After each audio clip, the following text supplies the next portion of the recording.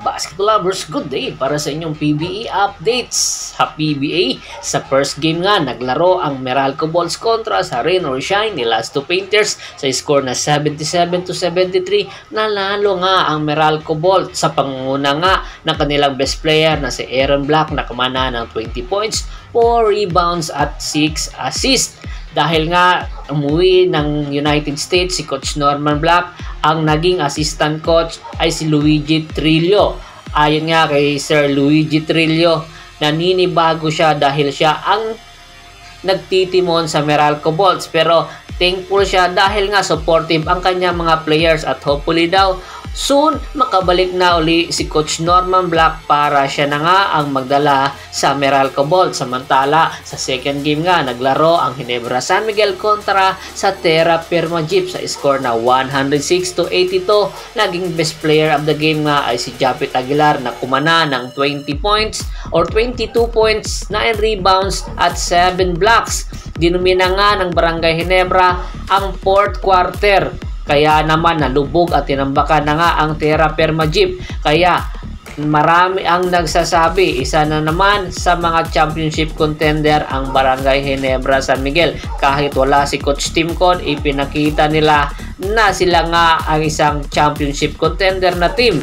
Dalawang laro na nga wala si Coach Timcon pero dalawang laro rin sunod-sunod ang kanilang panalo at hopefully daw bago pa makabalik si Coach Timcon galing sa NBA Summer League ay magtuloy-tuloy ang kanilang panalo. Samantala, update tayo sa PBA standing. Nangunguna na nga ngayon ang Barangay Ginebra San Miguel sa score na 61. Rather sa standing na 6-1 ang sumunod dito ay ang SMB na kaparehas na 6-1 at ang pangatlo ay ang Blackwater Bossing na 4 wins at 1 losses. Marami ang nagulat sa magandang pinapakita nga ng Blackwater Bossing. Samantala sinundan naman ito ng Tropang Giga sa 7-2 na standing at ang Magnolia at Enlex Road Warriors kasama ang Meralco Bolts pareha sila ng 4-3 at si Northport, Phoenix at Converge 2-5 at ang pinakakulelat ang Terra Perma Jeep na walang panalo at pitong talo.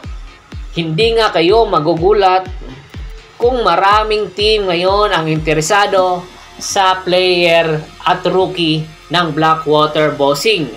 Ngayong pitsa, 8 nga ng Hulyo, ito ang deadline ng mga team para nga ma-trade nila ang kanilang player at kumuha ng mas magaling na player na karapat dapat sa team.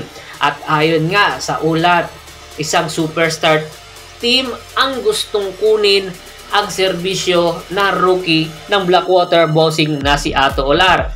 Noong nakarang linggo, naging best player of the week nga si Ato Olar at siya ang nangunguna ngayon na player pagdating sa mga rookie at maganda ang ipinapakita ng big man ng Blackwater Bossing kaya naman maganda ang kartada nila.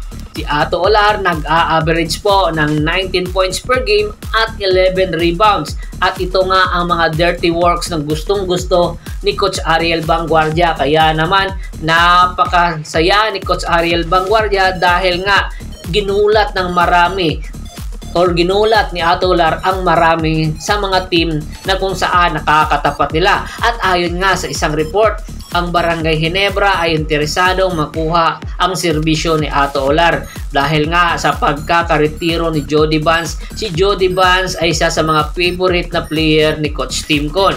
Isa sa mga big man na kung saan na kakakatulong sa team ng Barangay Ginebra dahil nga sa pagkawala ni Jody Vance naghahanap ngayon si Coach Timko na posible magiging kapalit ni Jody Vance at target nga si Ato Olar. Kahalintula daw ito ng laro ni Jody Vance. Rather si Ato Olar ay meron inside presence at meron outside shooting. At the same time napakagaling pumasa ng batang ito. Kaya naman, hindi tayo magugulat kung sinong team ang interesado makuha at maibigay ang anong player na gusto nila para lang makuha si Ato Olar. At ayon nga sa report, posible si Sydney Onuberi ang ibibigay ng Barangay Ginebra San Miguel papunta sa Blackwater Bossing. Si Sydney Onuberi, kung matatandaan po natin, ay naghahalin po sa Northport Batang Pier at pinalit lang si Artie Lacroix. Napakaganda rin po ng ipinakita ni Sinon Nubere sa Northport Batang Pier bago nga ito may trade sa Barangay Hinebra at simula nang ilagay ito sa Barangay Hinebra San Miguel ay limited minutes lang ang ipinapakita ni Sidney Onubere kaya hindi tayo magugulat kung ibibitawan agad-agad ito ng Barangay Hinebra San Miguel. At alam natin na ang Barangay Hinebra San Miguel naghahanda para sa playoffs na laro. At gusto nga palalimin ni Coach Timcon at ng buong staff ng Barangay Hinebra ang kanilang rotation sa big man ng Barangay Hinebra. Baka naman kasi makatapat nila ang Tropang Giga or ang SMB pagdating sa playoffs. Kaya naman, anytime kung matutuloy ang nasabing trade transaction is panalo dito ang Barangay Ginebra San Miguel dahil magkakaroon agad sila ng isang immediate impact na big man sa katauhan nga ni Ato Olar. At anytime huwag tayong magugulat.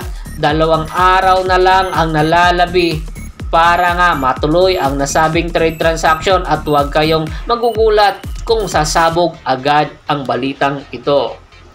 At bago nga natin tapusin ang ating kwentuhan, shout out muna tayo sa ating mga followers at subscribers kay Sir John David Gulapa, Edita Pele, Mayet Dato, Domingo Obuob, Kindus Lucanyas, Anthony Laquialon, Edgar Espirito, Kats Aquino Dukusin ng Hagonoy Bulacan, Ronald Bersobidad, Joshua Giray sa Giray Family, Speo Family, at Rosales Family ng Tondo, Manila. Ricky Lanza ng Ricky Rider TV at si Mr. Julius Roche. Marami pong salamat sa walang sawa niyong pagsuporta. Once again, this is Percival Monteron at your service. Don't forget to subscribe my sports channel at don't forget to click the notification bell button para nga maging updated palagi sa kwentuhan. Hanggang sa muling kwentuhan, maraming maraming salamat po.